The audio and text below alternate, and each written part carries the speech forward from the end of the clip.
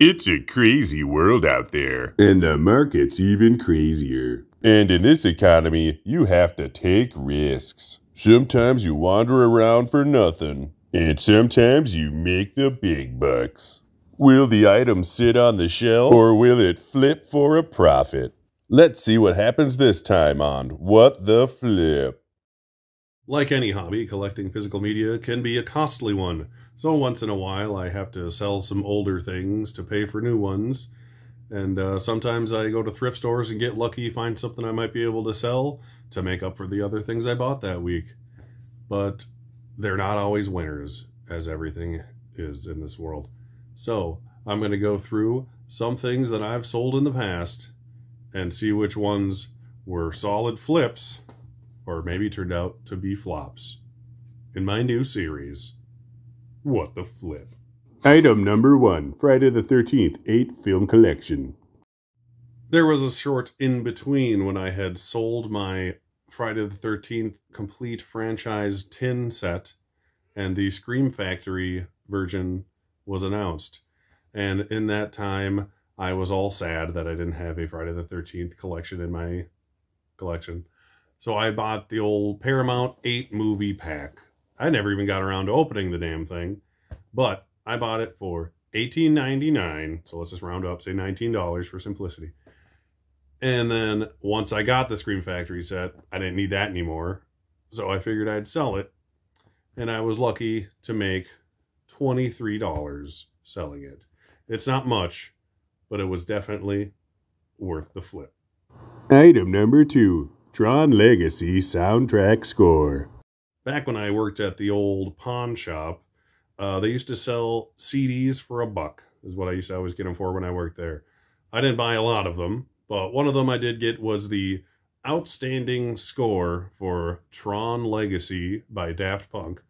Um, it's an amazing score. I recommend listening to it any way you possibly can. But I had the CD, I listened to it a lot, and I just got to the point where I didn't need it. So I bought it for a buck, and I sold it for $9, which, you know, not a lot. I'd say that was worth the flip. Item number three 1989 Batmobile telephone. Um, I have a thing for weird phones. I just think that they're funny. I don't know why. so you might see another one later on in a future episode. Uh, but I don't have space for them really, and I can't use them because I don't have a real phone line. So I figured I'll get rid of the thing. I uh, had the box and everything with it. It wasn't brand new when I bought it. Obviously, it was a damn near 30 year old phone, but it had all the pieces in the box with the original foam and everything. I bought it for 20 bucks, I believe, uh, which, you know, was probably more than I should have bought it for. Um, but I managed to resell it for $22, surprisingly. Uh, you know, a small profit, but definitely worth the flip. Item number four Movie Maniacs Alien Queen Diorama. I used to collect the Todd McFarlane Movie Maniacs series, as you might have seen in past videos. I still have a lot of them. I sold a lot of them off that were worth selling. I have a handful that just aren't worth enough to bother selling. But this one was a very cool one that I thought I would take the risk on. It was the Queen Alien diorama set from Aliens. A big figure. It's like that big with like the whole thing put together. Uh, I honestly couldn't tell you what I originally paid for it because it was like 20 years ago, but it was in the ballpark of 40 to 50 dollars. So let's just say it was 50 dollars.